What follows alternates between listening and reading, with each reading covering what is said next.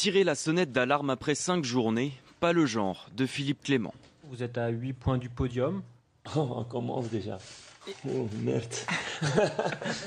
pas maintenant, c'est un petit peu tôt. Il y, a, il y a encore 33 matchs. Pourtant, Monaco est déjà à la traîne. 16e, une seule victoire, deux claques reçues face à Lens et 3, et du retard sur ses concurrents directs.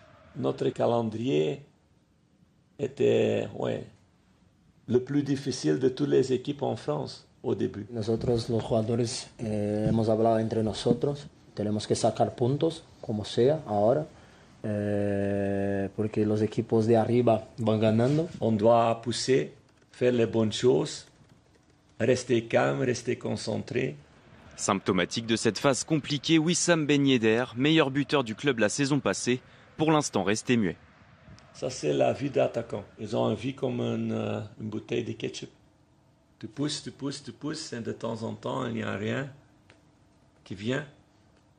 Et à un moment, c'est...